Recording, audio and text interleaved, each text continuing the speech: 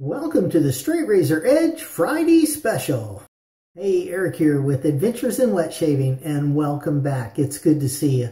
If this is your first time here and you're interested in learning how to straight razor shave and all things straight razor related, go ahead and hit that subscribe button. Then click on the bell next to it to be notified when I upload videos. That way you won't miss a thing. In tonight's Straight Razor Edge Friday special, we are looking at strop buying guide for straight razor beginners. Stephen Davidson commented on one of my videos recently and he said, can you do a strop buying guide for beginners? Beginners often get information overload looking at their first strop. So any help you can offer would be awesome. And Stephen, thank you so much for your comment. And this is for you. So here we go.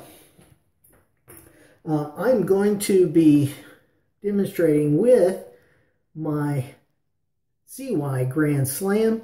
Okay, this is three inches long from here to here, and this is uh, 13 sixteenths. All right, and for our first strop, I got this, just a generic little strop. Okay, now one of the good points is it actually does have a swivel, which is nice. And it has a handle, which I also like.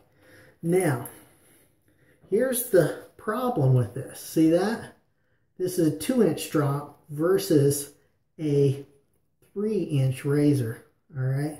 And now, see this? Okay, these are the reasons why you do not spend a whole lot of money on that first strop.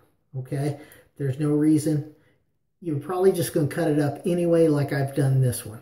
Okay, this isn't terrible, but it does happen. Now, I also put Chrome-Ox on the back of this.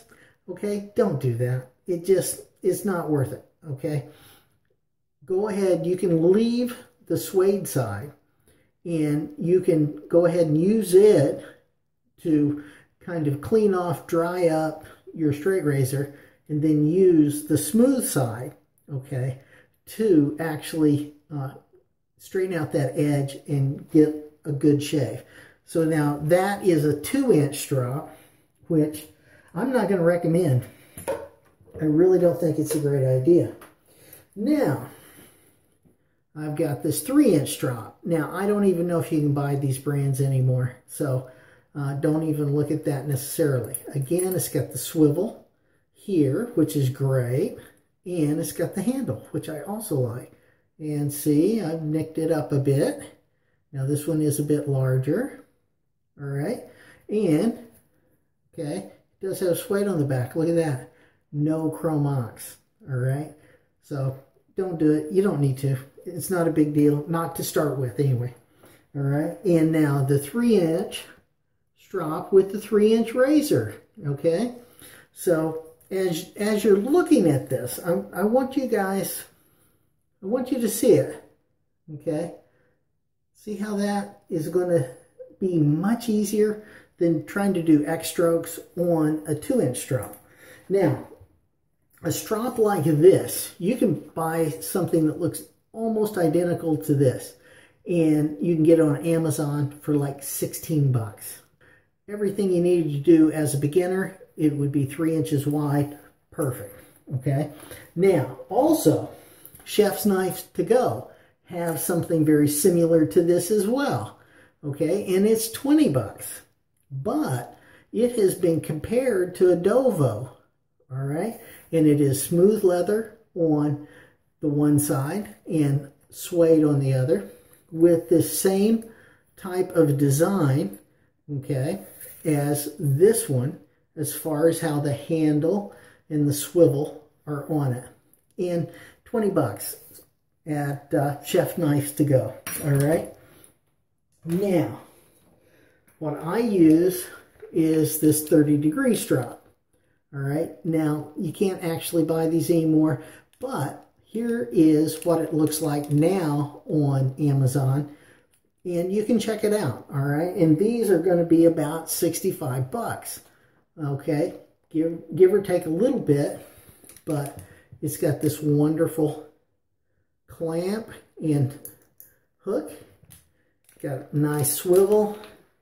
Okay, beautiful. And it's got these kind of handles, paddle handles on a swivel. All right, which is awesome. Now, with this 30 degree strop, you know, you can do perfectly fine with this. You got this beautiful smooth leather side, right? Now this is two-piece, so it's also got a fabric side. Now, if I were you to start with at least, you don't have to get really expensive. You can just go with, with something less expensive, all right? Now, this has also got the suede side, and now that does have chrome ox on it, but I didn't put it there, okay? That has Cromox on it because I put it on the fabric side, all right? So now, on that fabric side, it will rub off on the suede leather side. So I always put the Cromox on the inside of the fabric because if you don't, it's going to make a mess and it's going to get on everything. So always put it on the inside. All right. And then on the outside, you've got this beautiful fabric. All right. So now what I'm going to suggest is go ahead and buy something you can afford. Just keep it simple. No big deal. All right. Hey, thank you so much. I really hope this is helpful. Now, uh, for all of you experienced guys out there and gals, go ahead and in the comments, go ahead and add your suggestions as well. We're trying to keep this simple for the beginner and have a great day. Thank you so much for watching. Really appreciate you and all you do. You can click right up here for a complete shave, okay, from beginning to end pre-shave to post. All right, click right over here to see my latest video. Click down here on a video specially picked out for you. Click over here on me, subscribe, like, comment, share this video with your friends. Have a great shave and a good day, and I will see you next time on Adventures in Wet Shaving.